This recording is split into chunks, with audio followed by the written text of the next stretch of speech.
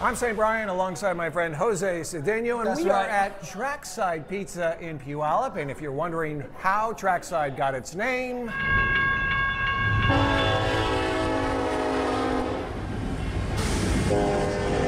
now you know. Well, I love how the whole restaurant shakes when the trains goes by. Yep. Obviously, kids love that, but they also like a special feature they have here. What is it, Saint? I'll tell you what it's called. It's called Pie Up. Kids get to create their own pies at the table. This is Aria, Alyssa, Carson, and Cameron. They get pizza dough, red sauce, cheese, and their choice of three toppings. Pepperoni is big with this age group, Jose. Okay, and when they have it ready to go in the oven, they yell out, "Pie up!" In less than 15 minutes, the pies are delivered to the table, and look how happy these kids are.